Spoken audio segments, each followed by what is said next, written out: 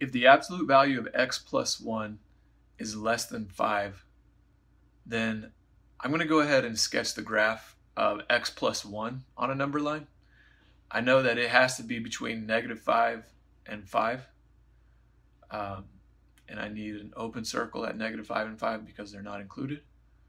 So another way to write that is x plus 1 has to be less than 5, and at the same time, x plus 1 has to be greater than negative 5.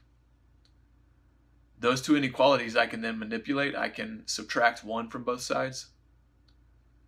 So x is greater than negative 6 and x is less than 4. And that gives me my solution. Um, so to draw that on a number line, greater than negative 6, I start at negative 6 and go to the right. And x is less than 4, so it can only go up to 4. Um, neither of those is included, so I put an open circle around those, fill in the, the uh, line in between, the line segment.